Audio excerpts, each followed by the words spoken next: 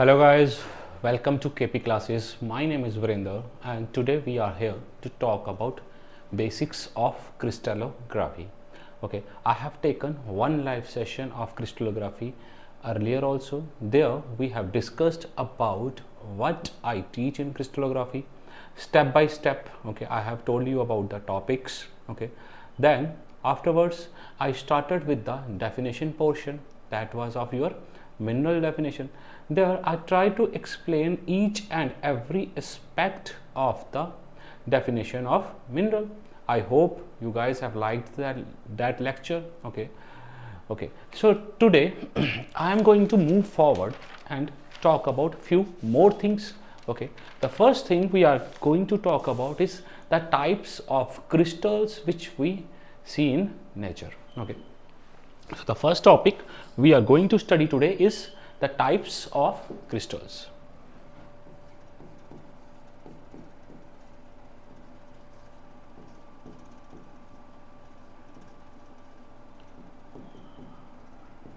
Here we are having a classification based on the size of the crystals as well as their arrangement also okay now here the first type of the crystals are is microcrystalline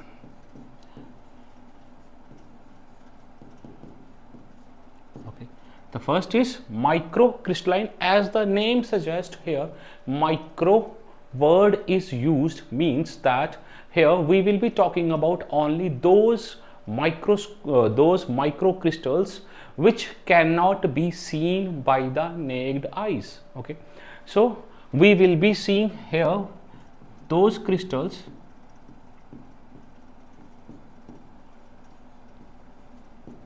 which cannot be seen by the naked eyes.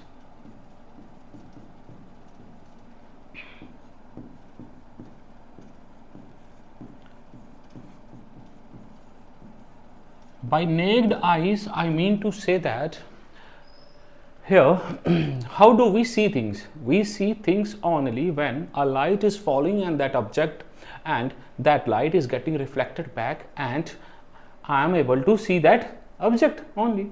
Now here what is happening the particles are becoming so small that the lights falling on them is not getting reflected back. So if the light is not getting reflected back then how I am going to see that okay. So I am not able to see these types of crystals okay these are considered as microcrystallines. Now here the easiest way when the size is decreasing the easiest way to see them is that we start using microscopes. So microcrystallines are the those crystals which are observed under microscope. They are observed under microscope. Okay. Now if so here in microscope which light we use? We use normal visible light. Okay we are only using visible light. Okay. Now if the size is more increasing decreasing sorry if the size is getting decreased more a time will come when the visible light won't be able to show us anything. Okay. We need more shorter wavelength. Okay. Then the another type of a crystals comes into existence which are known as cryptocrystalline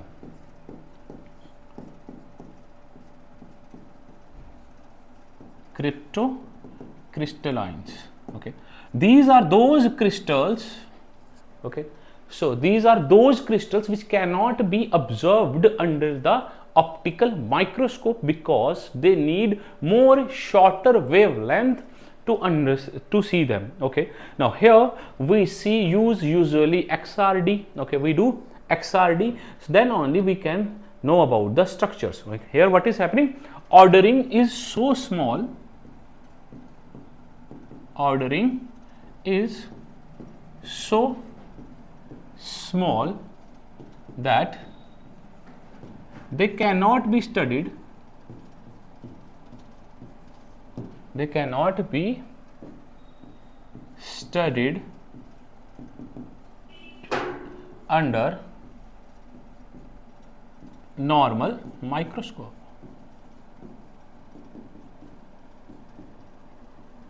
microscope. So here we use XRD to understand the structure of a crystal. Okay.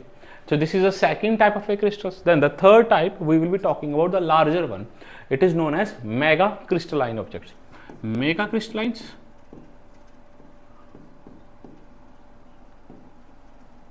the, the, crystals are very large and we cannot can see them easily there is nothing to explain much also here then the next part is polycrystalline. Polycrystalline. Mega if we talk you want to talk about mega mega is when the crystals are clearly visible to us then we say it is a mega crystalline okay. Then the last one here is polycrystalline.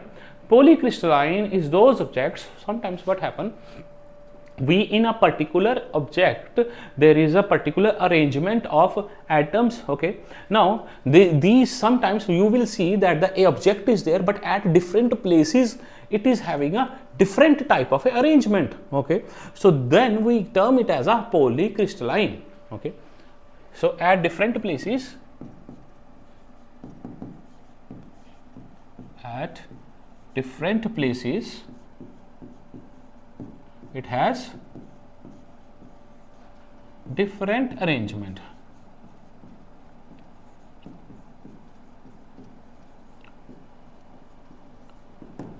Okay so these are the types of the crystals which we study. This is just i am uh, talking about under crystalline objects. Crystalline objects are those objects which are having a particular definite ordering in them. Then we were we studied about amorphous also in the previous class which do not have any particular definite ordering between them. Okay. Now here i have been talking about arrangement and everything. Okay. So let's try to explain that. Okay. I am saying that atoms uh, are placed at a certain point then the space between them then they are giving rise to a structure. Okay. So let's try to study them. Okay. So next topic which i am going to teach is motifs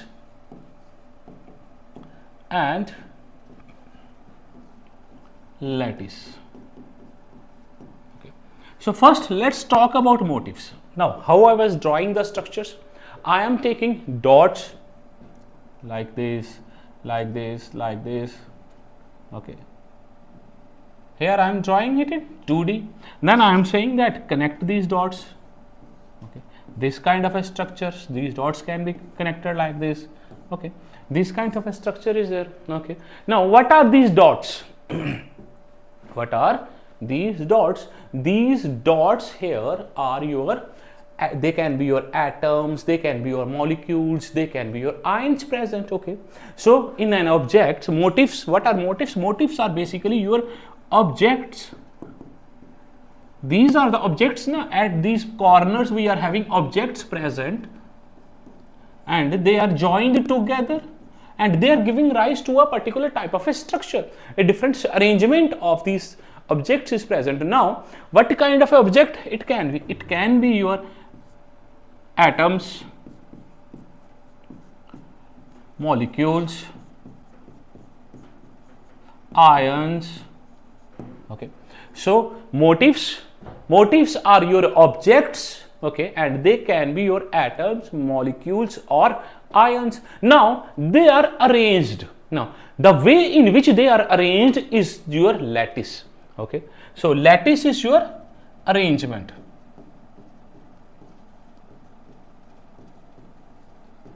Here in this diagram I have drawn it in two dimensional but if you see all the crystals which in present in nature they are in three dimensional.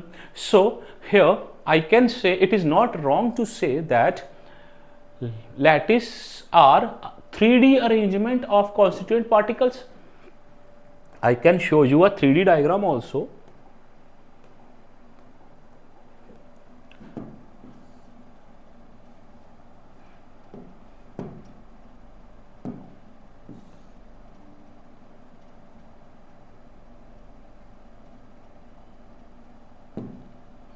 So lattice motifs will be present at these corners.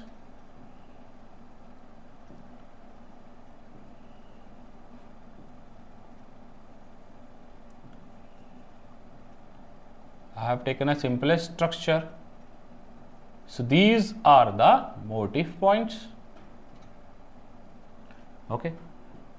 So how do we define lattice? How these motifs are arranged in three dimensional space. Okay. Now i have tried to represent that diagrammatically also. So here the motifs are always in our crystallography point represented as a point. Okay so we are always going to represent motifs as a points which are present at the corners. Someone is saying something. Okay.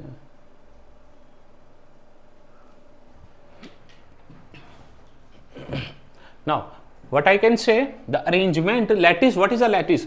It is a three dimensional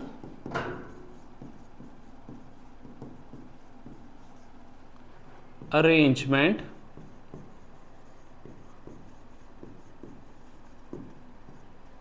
It is a three dimensional arrangement of constituent particles. Simple. Now these constituent particles can be your atoms molecules or ions. Okay and these constituent particles will be represented as the dots in the 3d structure.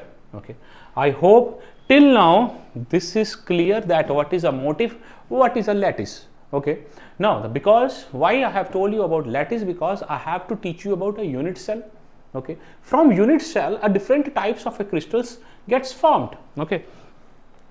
Now let's talk about unit cell. Okay?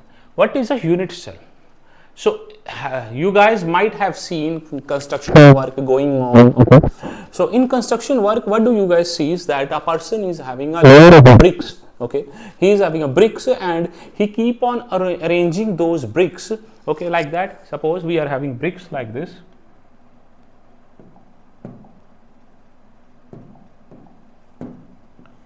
I am having bricks like this okay? So what does he do? He starts arranging them like this? Okay.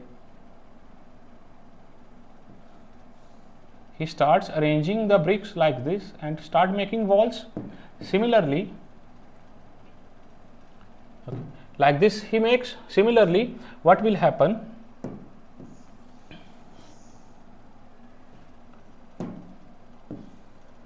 At top of it he place another layer. Okay. So like this he keep on building it okay? But initially what he was having? He was having only this brick with him. Okay? With this brick he has prepared this shape. Okay? Cut regular stacking of a similar kind of a structure. He has given this kind of a shape. Now one thing you should always notice here that this brick here in 2d it is a rectangular shape. Okay? Let's talk in 2d only. I'm not, not go went into not go into 3d shapes here in 2D if you see this is rectangle. And in 3D it is a cuboidal. Okay. In 3D it is a cuboidal. In 2D it is a rectangle. Now this is my unit which has successfully repeated and formed this layer it can be many stacks also. But how many layers uh, whatever the stacks is going to make the shape of the final layer is always going to be rectangle. If you observe it in two dimensional it is going to be two rectangle or if you are observing it in two in three dimensional it is going to be cuboidal shape. Okay so from here we can conclude that the shape of the final structure which is going to form is dependent upon the initial unit structure. Okay, this is known as unit structure. Why it is known as unit structure? Because it is getting repeated again and again in different directions to give rise to a complete form. The structure you are observing. Okay. So the shape is dependent upon the initial structure of the unit cell. Okay. So this is an example of a making of a wall i have given. Why i have given? Because the crystals are also going to crystallize in the same manner. They they need a smaller unit cell first then the unit cell is going to repeat itself again and again in every direction is it is going to repeat itself. It is not like that it is going to uh, multiply uh, we have to keep next unit cell in the x direction only. We can keep it in any direction. Minus x side y side also minus y side up below anywhere okay? It is not like we do not know the, that the, this crystal was first or this crystal was first okay? So it can grow in any direction but the shape of the final one is always going to be similar as to that as that of unit cell. Okay. Now this is an example which i have taken to explain. Now let's come to our unit cell. Okay. We see crystals. Okay. What we do we see crystals. Okay. In crystals we are going to have motifs. Okay. N number of motifs are there. Okay. And uh, we see larger shape. Okay. From that larger shape can we deduce that its crystal shape is going to be like this only. If we are having a crystal like this if we are having a large crystal like this okay we are having a large crystal this is of a cuboidal shape okay. Now from observing this can we say that it has been formed by n number of smaller units which is which are of same shape okay. It is not wrong to say. Okay. So i can start making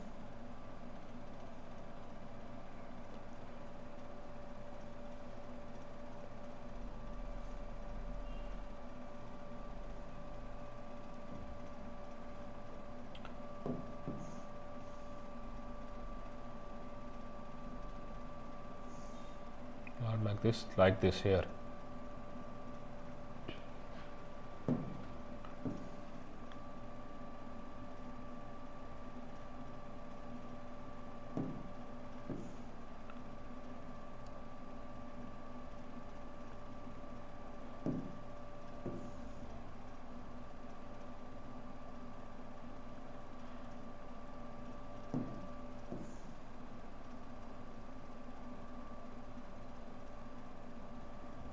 So I am not going to complete all, but just I am representing how it is present. Okay. So can we say these are the unit cells which are repeating themselves? Okay. This is the larger crystal which we are seeing. So what is a unit cell?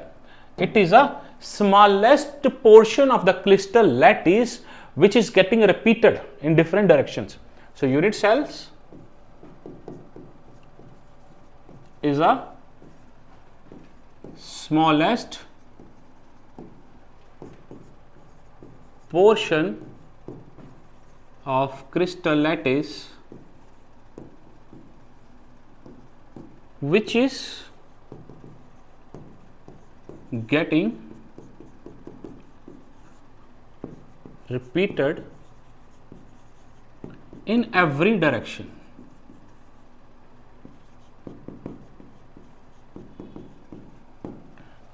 this is my unit cell. I hope this is clear to you guys now. Now i have already told you that the shape of the crystal is always identical. Not always. There are some defects always but this works most of the times. Okay. Now the shape of the crystal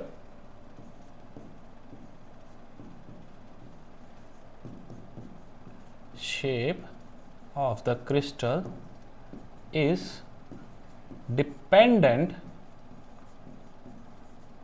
on the shape of unit cells. Okay. Now in this unit cell okay if i am observing the larger one i will be saying that the motifs let's talk about motifs. Motifs are present here at the corners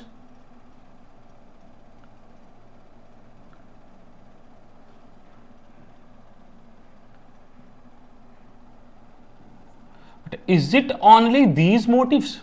Is it going to have only these these this number of motifs? But no. It is having n number of these smaller units also. They are also having motifs. So it is going to have a very large number of motifs present in it.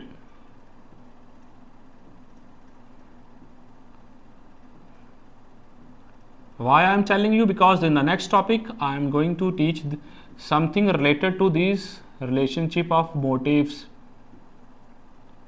Similarly we are going to have more unit cells inside them okay? So all of them are going to have different different motifs okay? I hope is it it is clear to you guys? Okay. Now let's take an example of a single unit cell. See what's happening in that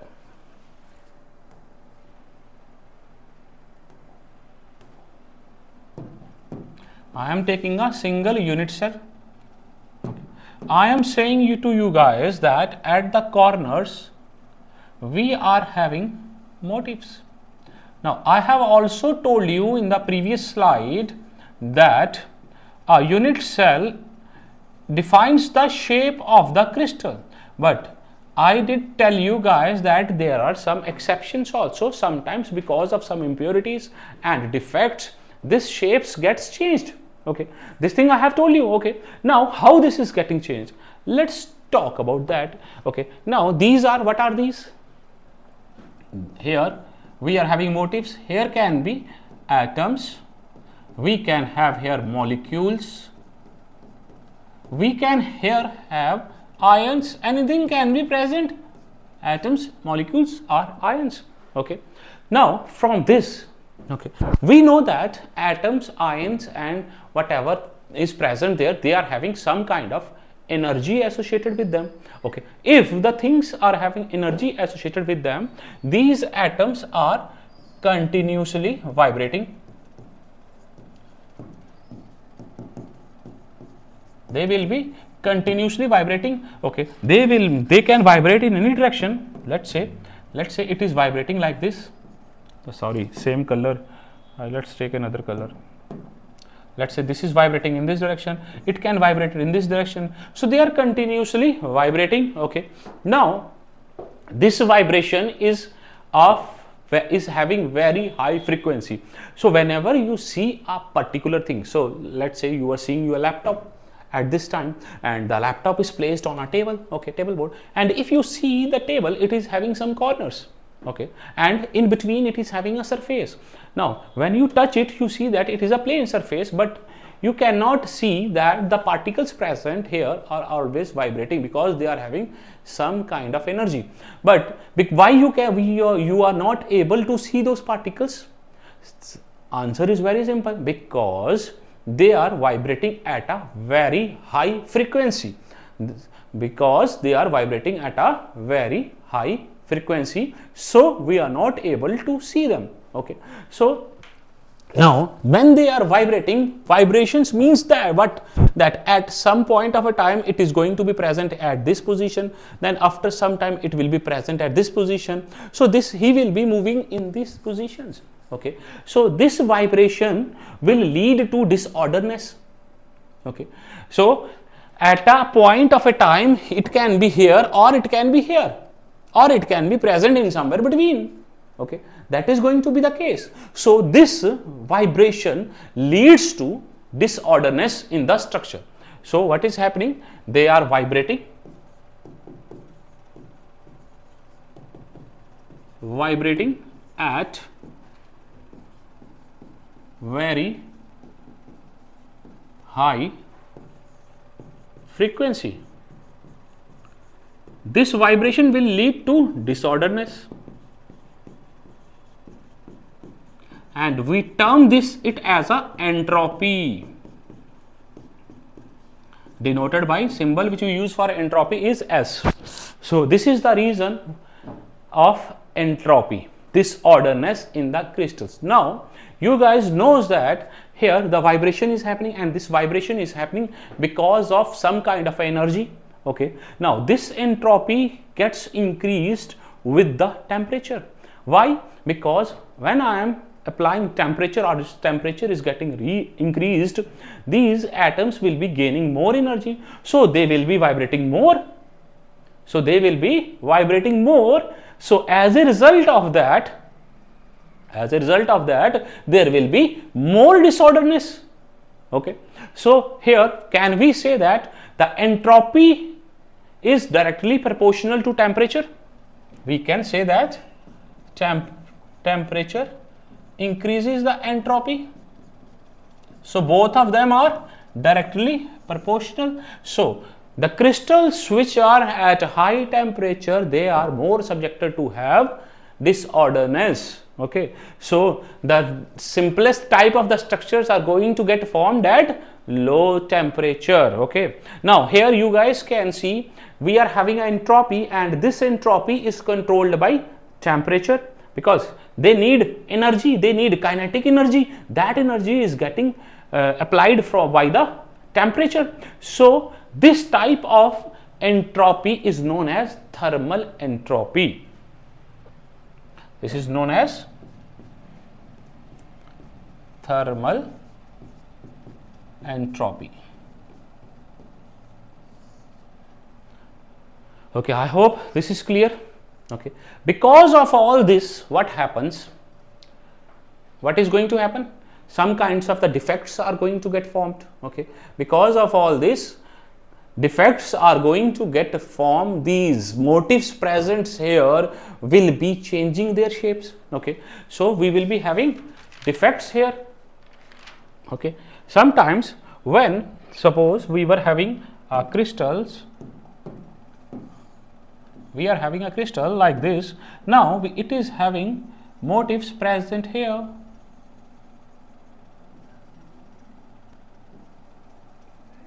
It is having motifs present here.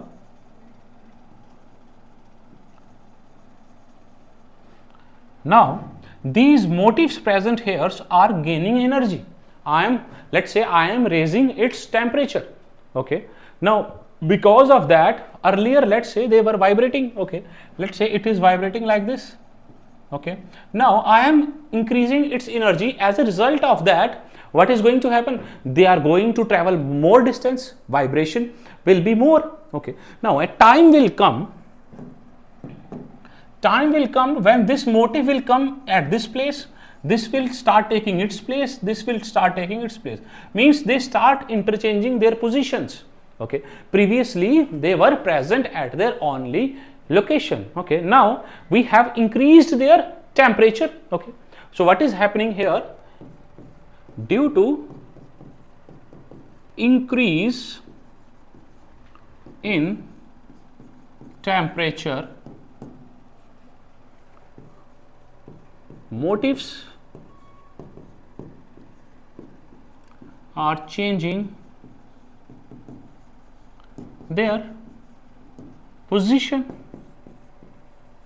This is what is happening. Okay. And why this is happening? I think now you guys have gotten this idea. Because they are gaining more energy so they can shift places. Okay. And this is very important for your chemical reactions.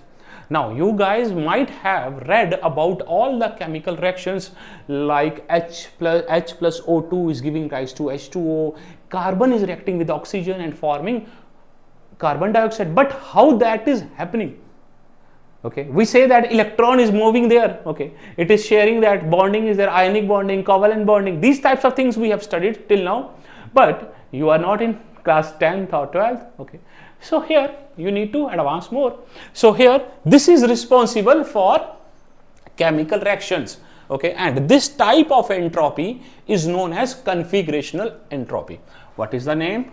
This is known as configurational entropy.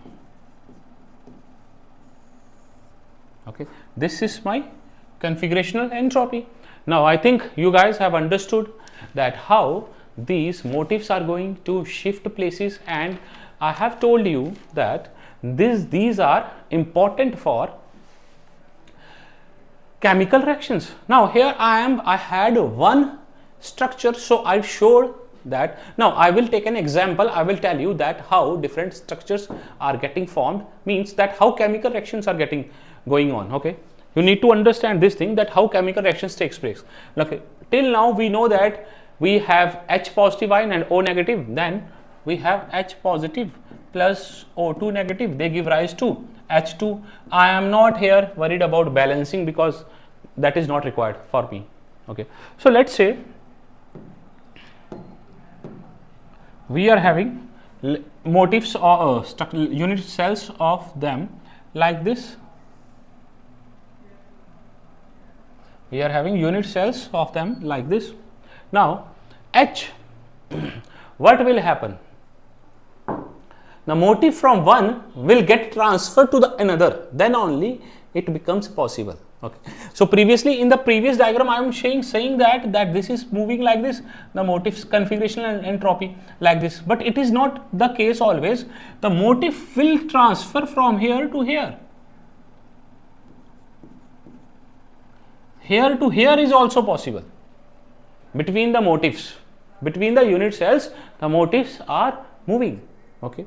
So if you want to take a real life example you guys can say this is rhombic shape so we can say uh, this is cuboidal shape. Let's say talk about rhombic. We have a calcite and SiO2. Okay, calcite is also having rhombic unit cell, and your uh, SiO2 quartz is also having rhombic unit cells. Okay, so there Ca CO3 plus SiO2 is present.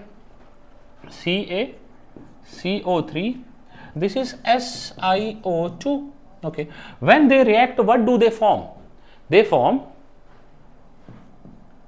CaSiO3 plus CO2 okay. How this is forming? Okay. So what happens here? This change happens here. Like this. So this is the basics of reactions and unit cells. Okay. Now here we have to talk about Bravais lattice also Okay, the next topic I am going to talk about is Bravais lattice because this is required for explaining the crystal systems. Okay, the very this is a very important topic that is your Bravais lattice arrangement.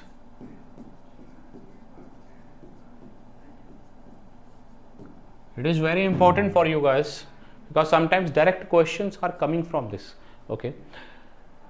What is Bravais lattice arrangement? See I have I was telling you that uh, motifs are arranged in a particular unit in a particular way.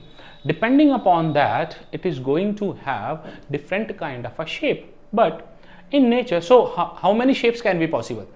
So you guys will say that sir we cannot talk about the number of shapes okay? So there can be n number of shapes shapes present infinite number of different shapes can be present but in nature nature has simplified it for us okay? Because depending upon the different stability conditions uh, your energy conditions there are only certain number of shapes which are stable okay? So we are going to talk about them. So only certain number of lattice arrangements are seen in nature okay? So crystal systems here we will be talking about crystal systems and crystal families okay? So before getting into Bravais lattice arrangement we need to know about I think I should have told you about crystal structures first. Okay let's talk about first these things. Crystal Bravais lattice arrangements. How many numbers are there? Okay so we are having a cubic system. Okay let's talk about crystal systems first okay before because that is connected to this one okay. You won't be able to understand that Bravais lattice structure first. Let's start about crystal system and families. Because while I teach Bravais lattice arrangements then I have to use these crystal systems to explain Bravais lattice arrangements. Okay, so first you need to be aware because this topic in your books, how it is given, it is given that this topic is given afterwards. Okay, but there they started talking about cubic and everything, so you do not have any idea about that. I will think like that that you are studying it for the first time. Okay, so crystal set crystal system and families. Suppose we are having a unit structure like this. Okay we are having a unit structure like this.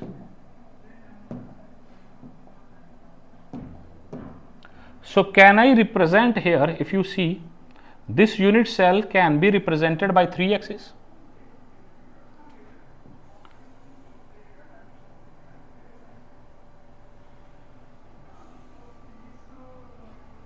This unit cell can be represented by three axes. Okay.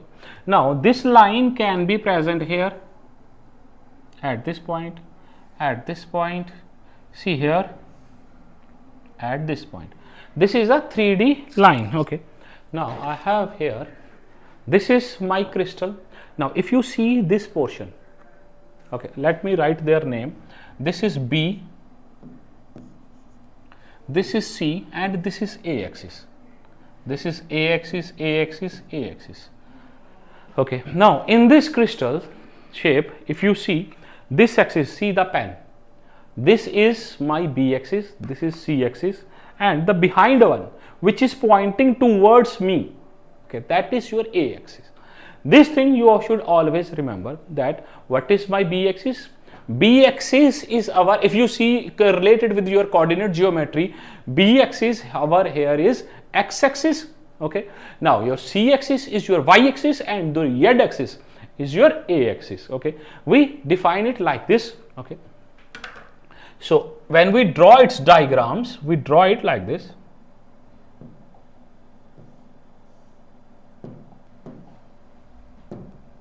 In a simplified way when I draw I am going to draw it like this. So I am going to name it, this is my B, this is C and this is A. I hope this is understandable to everyone. Okay. So this is the problem with online, so that I am the only one speaking here. Okay. So here this is the relation. Now the another thing you should know that here all axes are perpendicular to each other. Okay.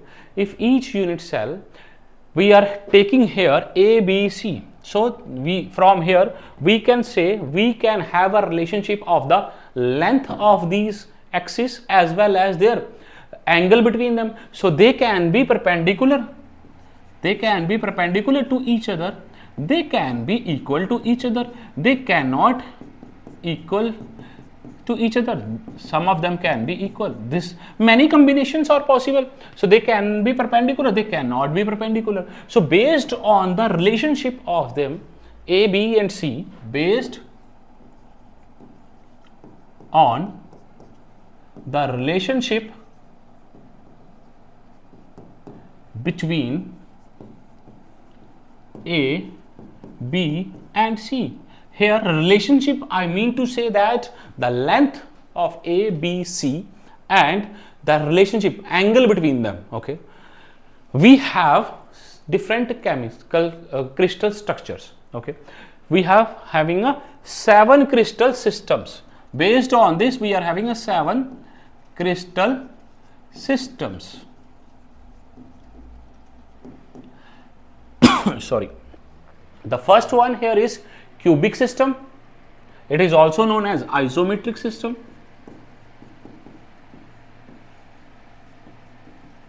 There is a, another name for it, isometric system. The second one is your tetragonal system. Okay. Then we are having a hexagonal. Okay. So tetragonal, hexagonal. How many total we are having? We are having seven crystal systems. Cubic system tetragonal hexagonal trigonal orthorhombic monoclinic triclinic. Okay. Trigonal orthorhombic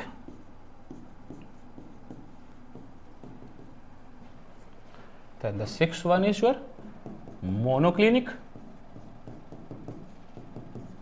and seventh one is your triclinic. These are the seven crystal systems which exist in nature. Okay. Now, these there are seven crystal systems, but when we talk about their families, only six crystal families exist. Okay. Why? Because this trigonal and hexagonal Hexagonal is having six sides and trigonal, trigonal is having three faces. Okay. So, trigonal is also considered as a part of hexagonal. So, when we talk, talk about families, this is crystal systems, then we talk about families. We are only having six families. okay we are not going to have trigonal okay? So isometric tetragonal hexagonal orthorhombic monoclinic triclinic okay? Remove trigonal from that. Why? Because trigonal is considered as a part of a hexagonal. When i will be teaching your crystal system there you will see that when i am teaching going to teach you trigonal okay? Then i will be taking unit cell of uh, hexagonal and from that i will be dividing showing you which is a trigonal portion i will be explaining that from that diagrams only okay? So trigonal is considered as a part of a uh, hexagonal so it is not considered as a different family. So families we are having only six cubic tetragonal hexagonal orthorhombic